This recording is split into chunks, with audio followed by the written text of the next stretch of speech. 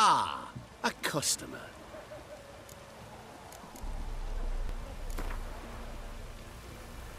What would you say to a little game of Gwent?